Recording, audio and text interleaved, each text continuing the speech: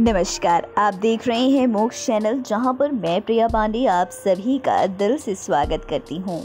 और आज हम इस वीडियो में बात करने जा रहे हैं आप सभी की पसंदीदा त्योहार मकर संक्रांति की।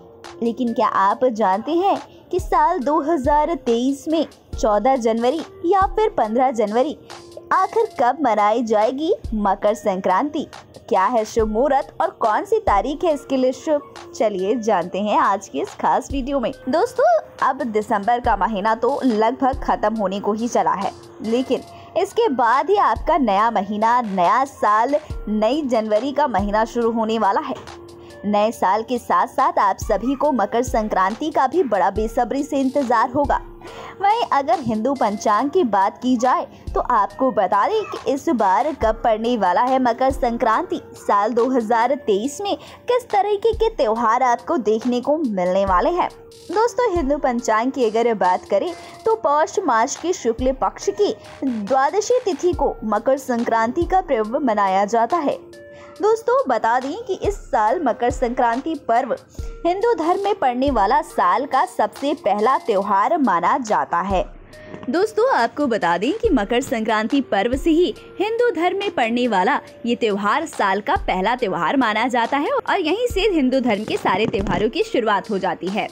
हालाँकि मकर संक्रांति को देश के अलग अलग हिस्सों में अलग अलग नामों से जाना जाता है।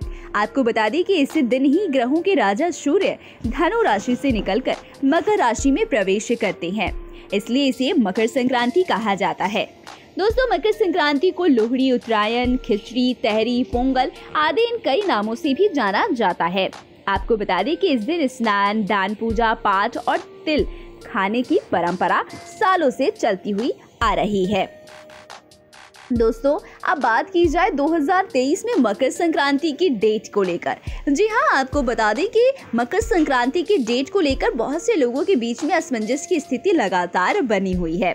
लेकिन कुछ विद्वानों की माने तो उनका कहना है कि 2023 में मकर संक्रांति 14 जनवरी को ही होगी। तो वहीं कुछ विद्वानों का कहना है कि नहीं 2023 में मकर संक्रांति 15 जनवरी को मनाई जाएगी। अब चलिए विद्वानों से ही जानते हैं कि आखिरकार साल 2023 में क्या है मकर संक्रांति की सही तिथि और क्या है उसका शुभ मुहूर्त। तो दोस्तों, पंचांग के अनुसार साल 2023 में मकर संक्रांति का पर्व उद्या तिथि के अनुसार रविवार 15 जनवरी को ही मनाई जाएगी। मकर संक्रांति का पुण्य काल मुहूर्त सात बजकर पंद्रह मिनट से बारह बजकर तीस मिनट तक रहेगा। और अगर बात की जाए महापुण्य काल की तो मुहूर्त सात बजकर पंद्रह मिनट से नौ बजकर पंद्रह मिनट तक रहेगा, क्योंकि इस बार सूर्य शनिवार यानी कि चौदह जनवरी के रात्रि में आठ बजकर इक्कीस मिनट पर धनु राशि से निकलकर मकर राशि में प्रवेश करेंगे और संक्रांति तभी मनाई जाती है जब सूर्य मकर राशि में प्रवेश करते हैं। तो ऐसे में मकर संक्रांति की जो तारीख होने वाली है, वो 15 जनवरी होने वाली है। अब बात की जाए कि आखिरकार मकर संक्रांति के दिन क्या क्या काम करने चाहिए। दोस्तों, मकर संक्रांति के दिन यदि आप पानी में तिल और गंगा जल मिलाकर स्नान करते हैं तो आपके कुंडली में जितने भी ग्रह हैं, वो दूर हो जाते हैं, ऐसी मान्यता है। तो यदि आपके ग्रहों से जुड़ी कुछ दोष हैं आपकी ज़िंदगी में, आपके जीवन में तो आप ऐसा करते हैं तो आपके जीवन से कुंडली में जितने भी ग्रह हैं, वो दूर हो जाएँगे। दोस्तों, अब बात की जाए और क्या क्या कर सकते हैं आप मकर संक्रांति के दिन।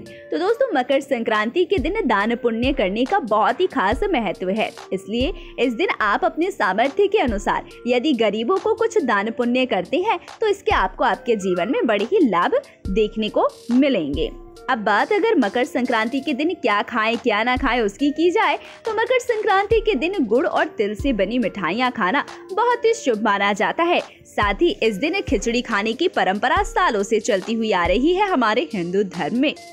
दोस्तों, आपको बता दें कि इस दिन, यानी मकर संक्रांति के दिन, काला तिल, गुड़, लाल चंदन, लाल फूल और अच्छत मिश्रित जल से सूर्य को अर्घ देना चाहिए। इससे आपको बड़ी ही लाभकारी फल आपके जीवन में मिलते हैं। तो अब आशा करती हूँ, आपको हमारी आज के इस खास वीडियो में मकर संक्रांति से जुड़ी सारी जानकारियाँ मिल गई होंगी। अगर आपको हमारी दी गई ये जानकारियाँ पसंद आई हो तो इसे लाइक कमेंट शेयर करके ज़रूर बताइएगा।